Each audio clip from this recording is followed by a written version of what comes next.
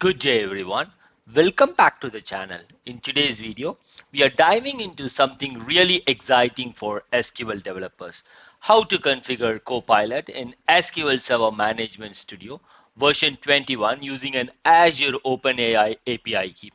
This is a step-by-step -step guide where I will walk you through the complete setup process from installing the Copilot extension all the way to securely connecting it with your Azure OpenAI service. So you can start leveraging the power of AI right inside SSMS.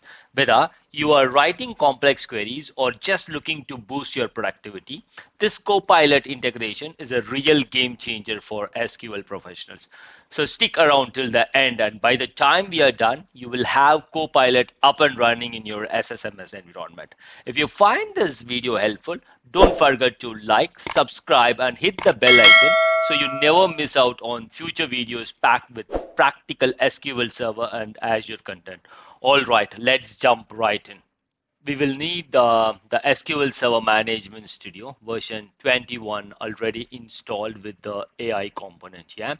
So if you have questions or uh, if you want to know how to install that, I have uh, previous videos where I will be um, um, installing SQL uh, Management Studio version 21 using um, uh, offline and online method. You can go through it and uh, I have clearly explained how you need to uh, enable AI so that you will be seeing this um, Copilot um, option in your SSMS. So you can look at my previous videos to uh, get more details on that. Yeah.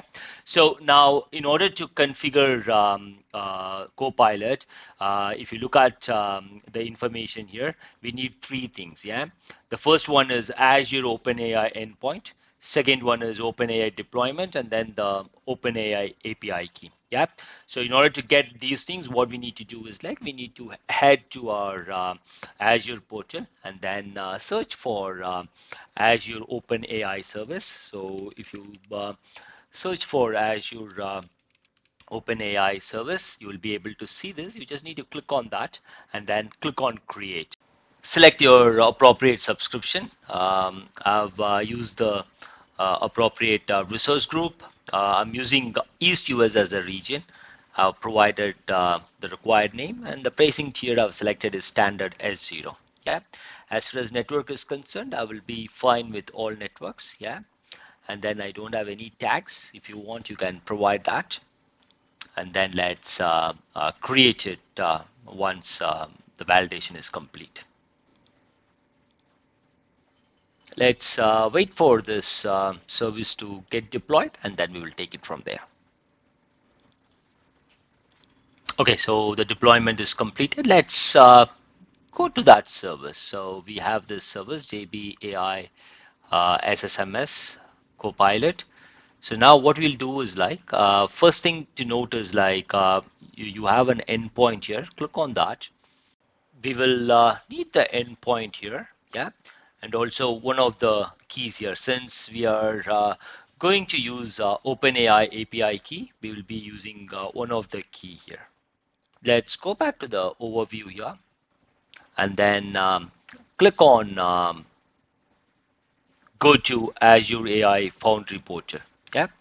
First thing first on the Azure AI Foundry portal you need to make sure like uh, you have selected um, the correct um, uh, OpenAI service here. Yeah, in my case, it is correct. It is JB AI SSMS hyphen Copilot. You ensure that you have selected the right uh, OpenAI service here. Okay. After that, click on deployment here. Yeah, and then you have this option uh, called uh, deploy model. Click on that, and then you need to select uh, deploy base model. Yeah.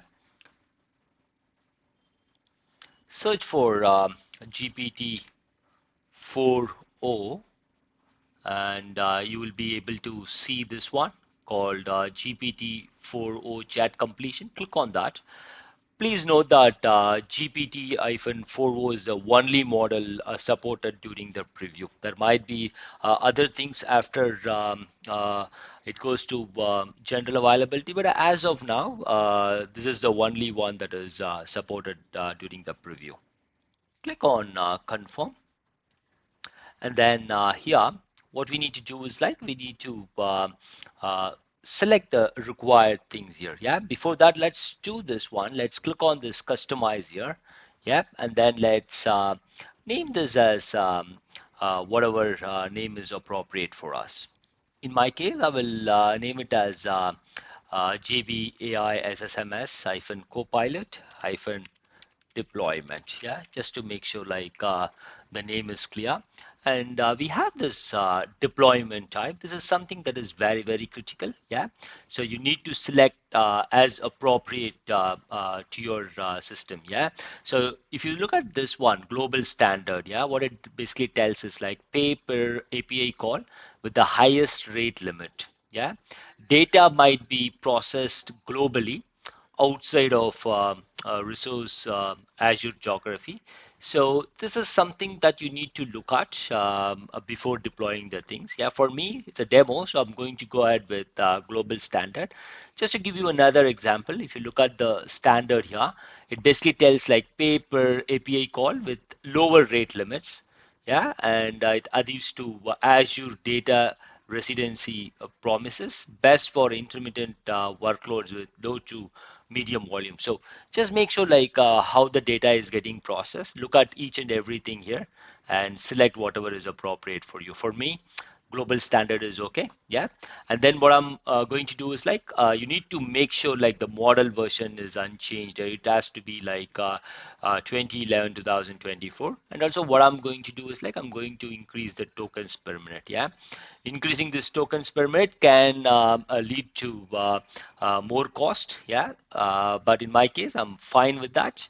I'm increasing that and let's click on deploy here Let's wait for the deployment to complete and we will take it from there. Okay, so the deployment is completed. Yeah, if you see here, we have um, uh, the model here. So what I need to do is like I need to copy this name here. Yeah, and then keep it in a safe place so that I can uh, integrate this into my SSMS. Let's open our uh, SSMS. Yeah, Let's click on uh, Copilot. Now what we need is like we need this um, Azure OpenAI endpoint and then the API key first. So what we'll do is like let's uh, head to our um, uh, Azure portal for the Azure OpenAI service and let's click on this uh, uh, endpoints here. So let's first copy the endpoint and then let's uh, paste that and then now we need the uh, key. So I'm going to copy the key one here. Let's paste that. Now I need the uh, OpenAI deployment. So let's copy that as well. And then let's go to the SSMS again. Let's paste that. Yeah. So if you see here, we have the endpoint, we have the deployment name, and then we have the API key. So let's click on launch Copilot. And if you see here, we were able to successfully uh, integrate uh, Copilot with our SSMS. Let's ask some question. Uh, let me check how can it help me. And then let's see uh, what reply we will get here. So it basically tells like uh, I can assist you with a wide range of SQL related tasks, query assistance, database analysis. So these are the things that it can help us. So now what we'll do is like uh, we will try um, uh, requesting for a query from the Copilot and see uh, if it can help us. Okay, so I'm going to ask, can you join tables uh, customer and customer address on customer ID and return the full name. Let's see what happens. So we have uh, requested that info. So it's processing right now.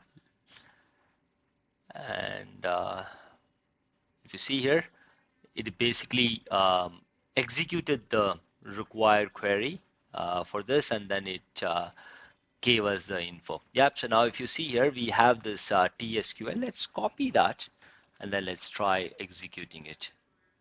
Yep, if you see here, it has uh, written all the full names here. So this way, uh, what we can do is like in uh, simple English, we can provide the required um, uh, instruction to Copilot, and then we can get uh, more details. Like for example, if you wanted to uh, write the query, or if you require any other assistance, then you can uh, uh, request that from Copilot and then get it. So what I'm going to do is like uh, in my next video, I'm going to use um, the um, Microsoft Entra authentication and then try integrating um, the Copilot with uh, SSMS. So right now we use the uh, OpenAI API key, but what I want is like um, I just want to uh, utilize the uh, Microsoft Entra authentication and then try integrating it. So just to uh, make sure like we are uh, more secured on that way.